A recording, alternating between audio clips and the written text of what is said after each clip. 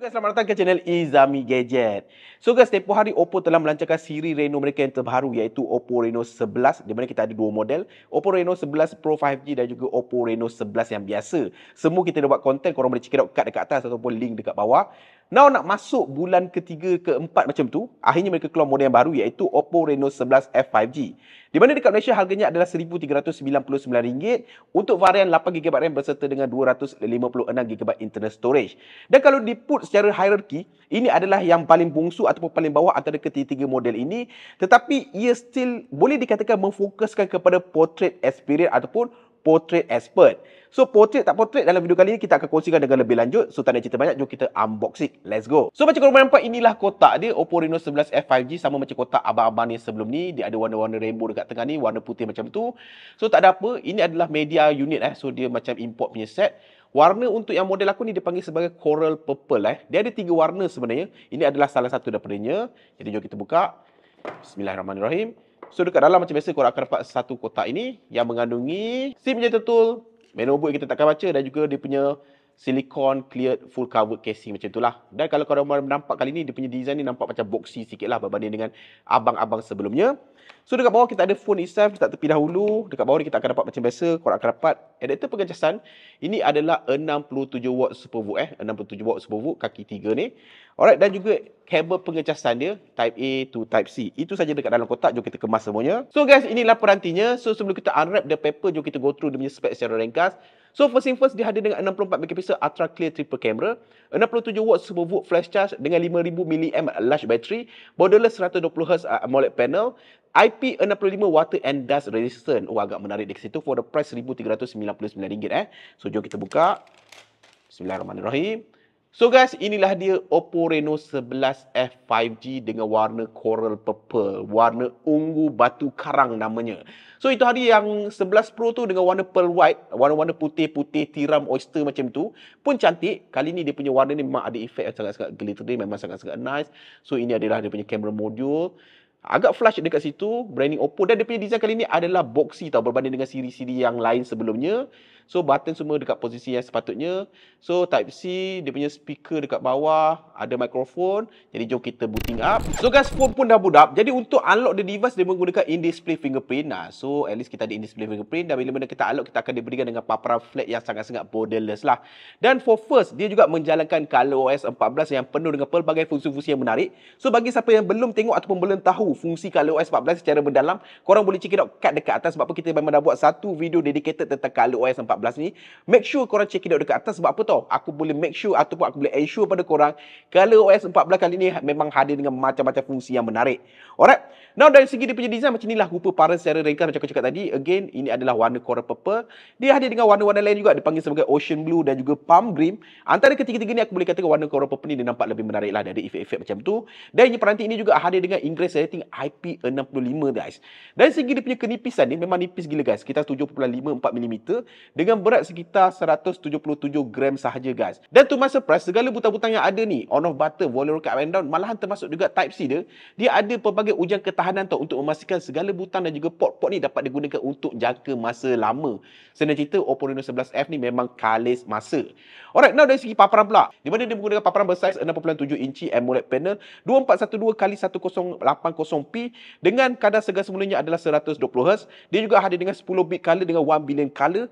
Support HDR10 Plus dan dia juga hadir dengan 1100 nits kecerahan maksimum guys. So far dari segi penggunaan aku, aku boleh katakan lah untuk kegunaan santai casual content media sosial ke ataupun nak tengok TikTok, YouTube, Netflix, this display mampu memberikan satu pengalaman yang cukup memberangsangkan dan dengan dia punya 300% ultra volume speaker, aku boleh katakan this might be one of the best in the segment untuk pengalaman audio visual yang sangat-sangat immersive dan the fact aku suka dia adalah memang totally flash flat display so penggunaan sepanjang hari memang sangat-sangat selesa dan sangat-sangat natural. Now bercerita pula pasal kamera guys ha. sebab apa ini adalah main highlight untuk siri Reno termasuklah Reno 11F ni di mana untuk sensor dia ada dengan triple sensor 64 megapixel sensor OV64B 1 over 2 inci sensor size untuk kamera utama 8 megapixel ultra wide angle sensor Sony IMX355 2 megapixel macro lens 32 megapixel selfie camera dan untuk kemampuan video recording dia boleh merekod depan dan belakang 4K guys eh. Dan dia juga hadir dengan kemampuan portrait expert engine sebagaimana abang-abang dia lain. Cumanya dia tiada telefoto punya sensor tau. Jadi dari segi dia punya portrait dia, aku boleh katakan good tetapi not as good as Reno 11 Pro 5G. Of course, itu adalah tier yang berlainan lah. Jadi untuk siapa sebagai gambar daripada Oppo Reno 11F ni, korang boleh layan selepas ini. Let's go.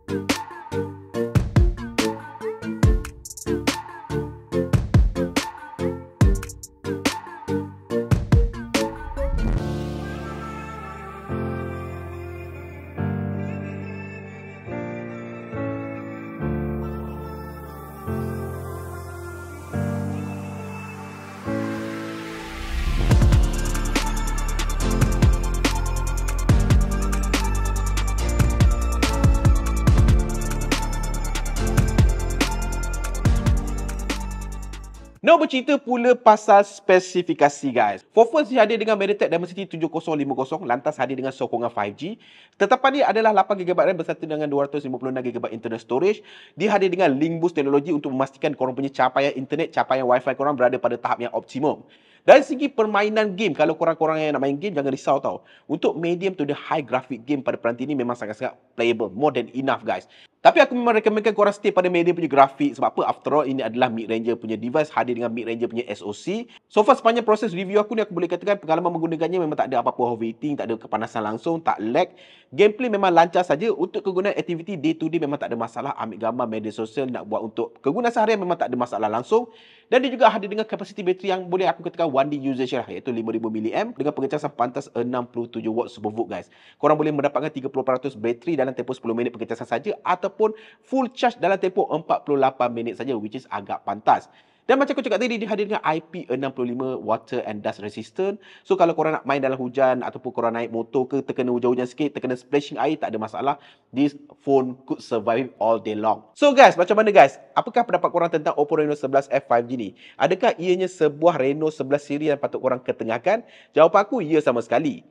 For the price RM1,399, dengan peranti ini korang boleh dapat sebuah peranti dengan desain yang sleek dan juga unik, display AMOLED yang responsif, speaker yang cukup kuat, kamera portrait expert yang aku boleh katakan boleh tahan padu, prestasi yang mencukupi, line dia pun tarik kuat tau dengan boost teknologi, baterinya besar, pengecasannya yang pantas, untuk kelas harganya ia mampu bersaing rapat dengan jenama-jenama lain dekat luar sana. Untuk tanda harga sedemikian. Senang cerita lah, bagi yang ada kekangan bajet tapi still nakkan pengalaman daripada Oppo Reno Series 11, korang boleh go untuk Oppo Reno 11 F5G ni. So guys, sampai sini saja video kali ni. Korang, korang ada apa-apa komen, korang boleh drop dekat ruangan komen dekat bawah. Dan sampai bertemu lagi di video akan datang. Macam biasa, Assalamualaikum. Ciao.